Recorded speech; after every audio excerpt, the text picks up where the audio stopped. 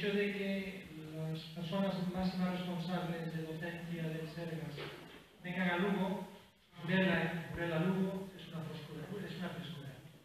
El hecho de estar compartiendo con Burela en estos momentos esta presentación también es una frescura. Entonces, indudablemente, eh, son aires diferentes, son aires mismos. Sin más, simplemente ahora queremos aprovechar que están aquí ten cuatro pinceladas sobre un tema que filosóficamente, por lo menos a los que estamos en el equipo de docencia, nos entusiasma, con muchos, con las correcciones que hay que hacer, con las variables que hay que meter, que es la totalidad. Y que parece ser que de repente, ¡pum!